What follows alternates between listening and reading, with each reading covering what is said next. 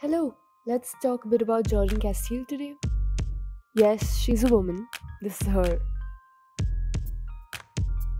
Nine times out of 10 people think that I'm a man before they like meet me, even though like, yeah, because my name's Jordan and I'm painting men. So like even at my own openings, the number of times that my mother, I hear my mother like across the room being like, she's over there. And I'm like, mom, like it's okay. I made that mistake too.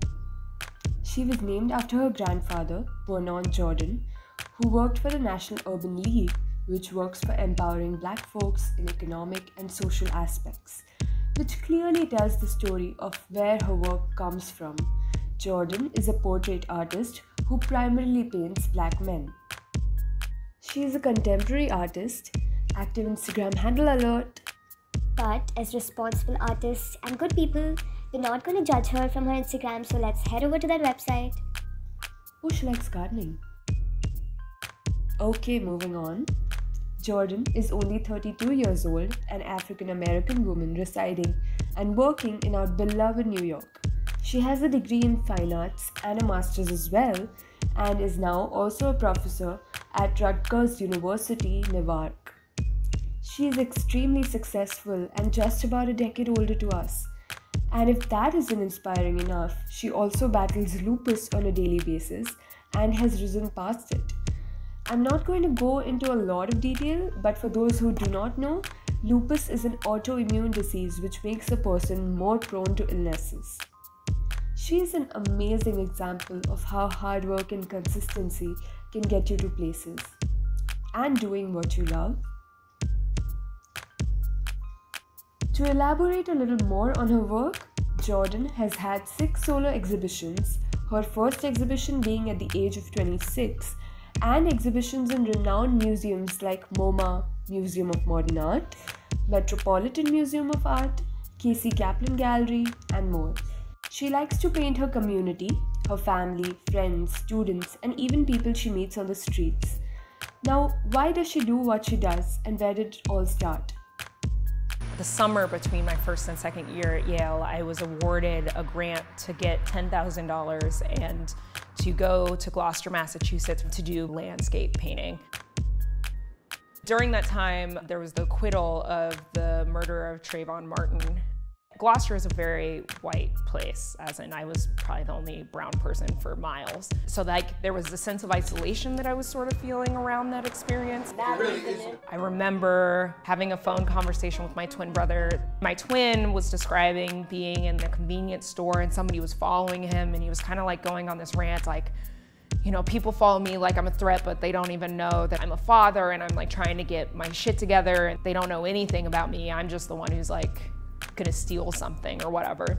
I think I felt at that time that I needed to go back to Yale and do work outside of landscapes, that I needed to find a way to combine my desire to create a sense of visibility around my family and my brothers that was feeling absent at that time.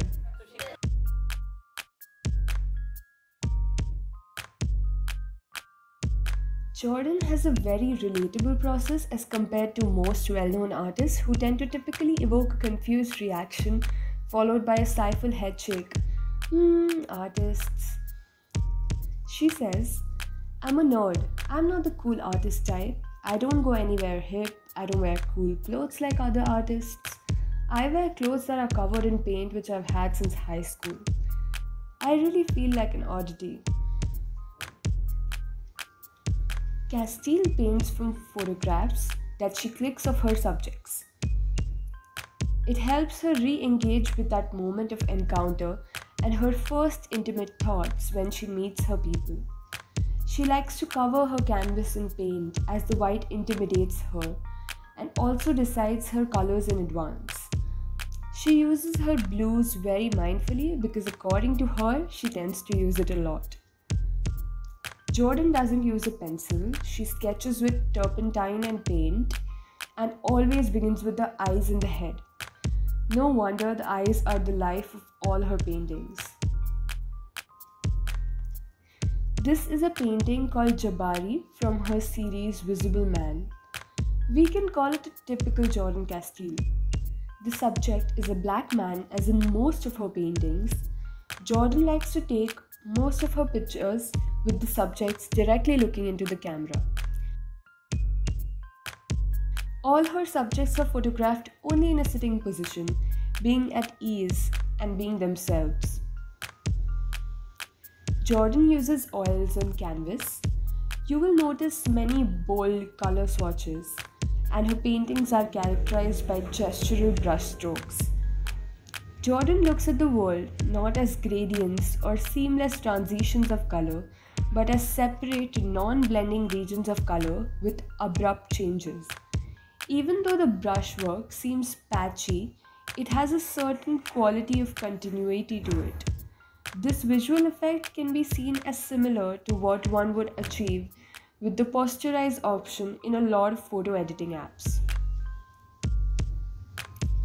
She also has a meditative understanding of tonal value since she has recreated the same tones of a particular color from her pictures to a different color. Taking an example of one more painting called Gallon 2 from Visible Man, we can imagine how the tones of the skin would have looked like in the photo and how she has turned those brown swatches into tones of green. It was hardly a pain to do this digitally, but one requires mastery over a skill to achieve this without the help of computers. Jordan chooses and depicts her backgrounds very mindfully, highlighting specific details that give out information about who the person is and what is the kind of life he lives. This is very apparent in her series Nights in Harlem. The art of realistic painting became dirt after the arrival of camera. Artists began to think that art is not what a mere machine could also produce. That is when there was a paradigm shift in how we see and make art. This gave birth to Impressionism, modern art, and so on. In today's world of abstract, Jordan makes a bold statement with her figurative and realistic representation of body shape.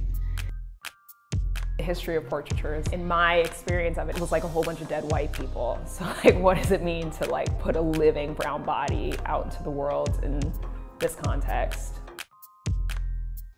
But she does contribute to the contemporary love for abstractness through her visualization of color. She guides the movement of the viewer's eye with interesting, dynamic poses that cover the canvas. There's fluidity in her composition. Taking a closer look at one of her paintings from Visible Man, one of my personal favorites, this is a 52 into 72 inches painting called Yaya. That's about 6 foot wide. So these nudes happened, which was horrifying. And I got a lot of criticism sort of during that time around it because I was making some pretty intentional and dramatic moves, such as like not showing the genitalia, which was like always a thing. But I, I was really interested in humanizing um, in a history that is often criminalized and um, sexualized. So I didn't want the black male body to be taken advantage of any more than it, historically it has been. So that was like a gesture of not allowing people to have what they felt like they deserved from the body. There is something so delicate yet powerful about this series.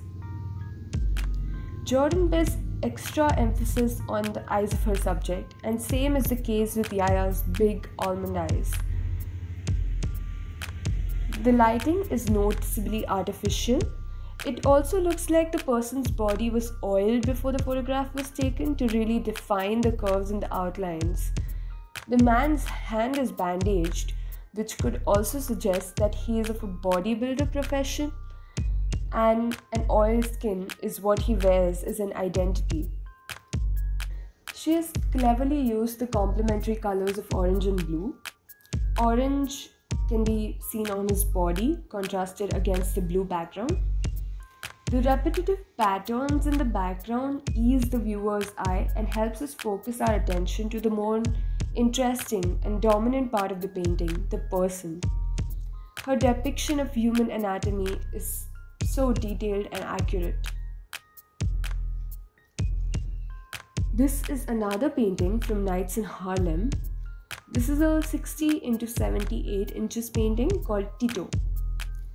There is activism in the intentionality and the scale of my work, says Jordan.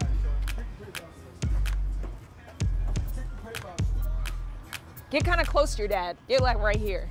Cause this is your dad or that's your dad. Yeah, I love it. Now I see it. That's so good. Yeah, come right here. I want you close to this little one. Pop said you're going crazy, so. Will you put this leg in a little bit? Yeah. I'm just thinking about my canvas. Yeah, that's perfect. Look.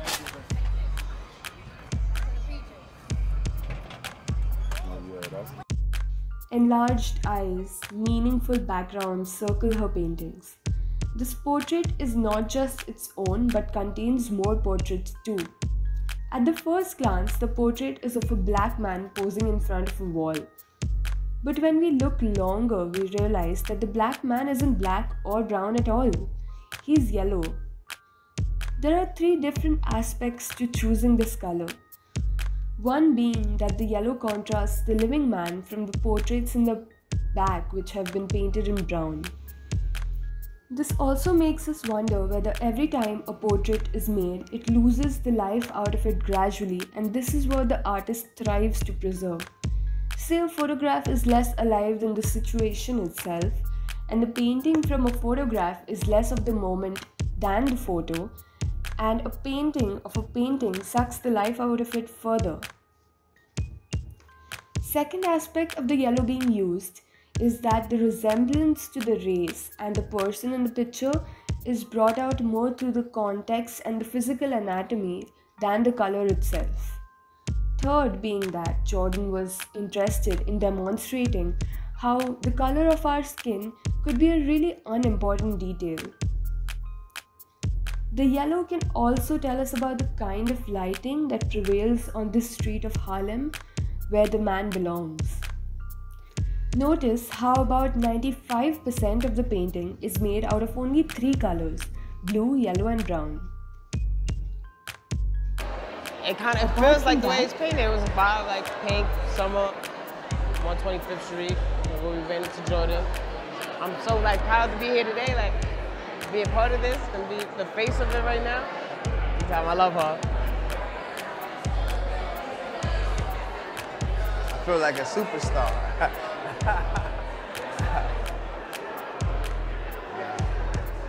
Yo, I can't stop blushing. I can't stop blushing. Looking at more of her paintings, it wouldn't be a stretch to say that she loves painting shoes. There's also extensive and secretive use of typography in her portraits.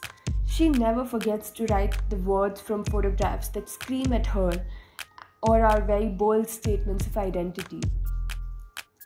Like whenever people, there have been some criticisms that I only paint men, and every time people say women are absent, or people are like, when are you gonna paint women? I'm like, I don't know if I feel absence.